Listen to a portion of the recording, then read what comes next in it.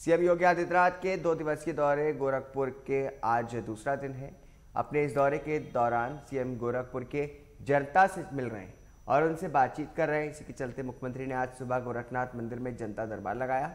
इस जनता दरबार में बड़ी संख्या में लोग पहुँचे और मुख्यमंत्री से अपनी बात कही। वहीं सीएम योगी ने फरियाद सुनने के बाद वहाँ पर मौजूद अधिकारियों को लोगों की समस्याओं का समाधान करने और सभी के साथ न्याय करने के लिए कहा है।